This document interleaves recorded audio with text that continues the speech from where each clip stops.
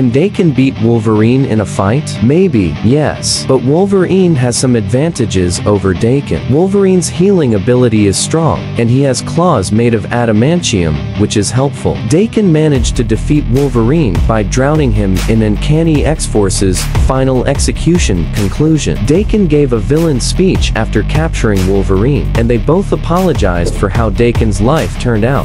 Daken could also use his Muramasa-infused claws to stop Wolverine Wolverine's healing factor. During their fight, Daken tapped into his berserker mode. Wolverine managed to defeat Daken by drowning him, which was the only way to kill him. In a regular fight, Wolverine would likely win 8 out of 10 times. He is more experienced and has a clear advantage with his healing factor and adamantium claws.